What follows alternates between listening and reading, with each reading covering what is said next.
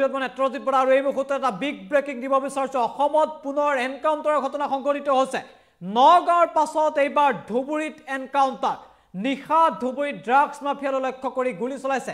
আৰক্ষীয়ে সবিশেষ এই মুহূৰ্তত টাইমিটৰ দৰ্শকসকলৰ বাবে লৈ আহিছিল এই মুহূৰ্তত এটা বিগ ব্ৰেকিং যে অসমত পুনৰ এনকাউণ্টাৰ নগাঁৱৰ পাছত এইবাৰ ধুবুৰীত এনকাউণ্টাৰ কালি নিশা নগাঁৱত এনকাউণ্টাৰ হৈছিল তাৰ পাছতেই ধুবুৰীত এনকাউণ্টাৰ এবাৰ ড্ৰাগছ মাফিয়ালৈ লক্ষ্য কৰি আৰক্ষীৰ গুলীচালনা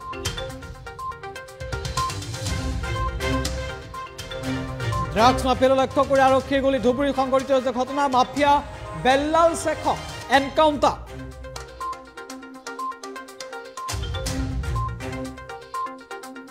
মাফিয়া বেল্লাল শেখক এনকাউণ্টাৰ বেল্লাল শেখলৈ লক্ষ্য কৰি গুলী চলাইছে আৰক্ষীয়ে নিশা আই জি ৰোডৰ পৰা ড্ৰাগছসহ আৰক্ষীয়ে ধৰিছিল বেল্লালক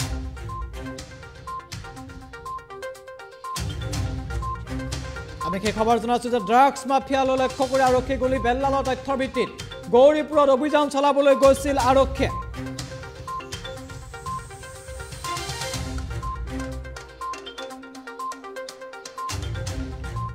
ধুবুৰী গৌৰীপুৰৰ পথত আৰক্ষীৰ চকুত ধূলি দি পলাবলৈ চেষ্টা কৰাৰ সময়তে গুলী চলাইছে আৰক্ষীয়ে।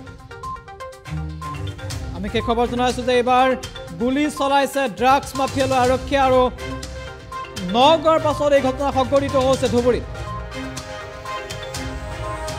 পলাবলৈ চেষ্টা কৰোঁতে এইবাৰ ড্ৰাগছ মাফিয়ালৈ লক্ষ্য কৰি গুলী চলাইছে আৰক্ষীয়ে।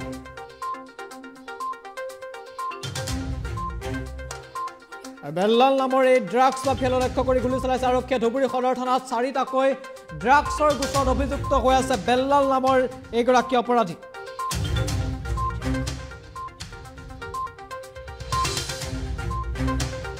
দৃশ্যাংশ দেখুৱাইছো ড্ৰাগছ মাফিয়াক এইবাৰ গুলী চলাইছে ড্ৰাগছ মাফিয়াক লক্ষ্য কৰি গুলী চলাইছে আৰক্ষীয়ে মাফিয়া বেল্লাল শেখক এনকাউণ্টাৰ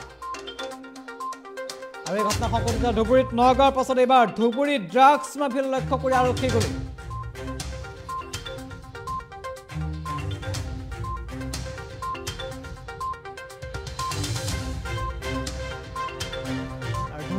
গৌৰীপুৰ পথত আৰক্ষীৰ চকুত ধূলি দি পলাবলৈ চেষ্টা কৰিছে বেল্লালে আৰু সেই সময়তে গুলী চলাইছে আৰক্ষীয়ে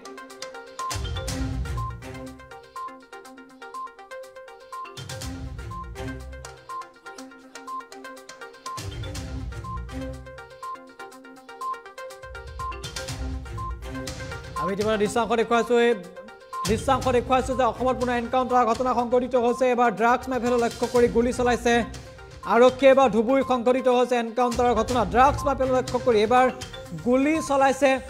আৰক্ষীয়ে মাফিয়া বেল্লাল শেখক এনকাউণ্টাৰ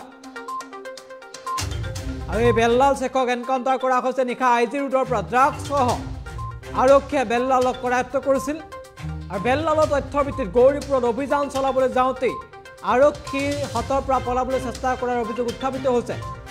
আৰু যাৰ বাবে গুলী চলাবলৈ বাধ্য হ'ল আৰক্ষী।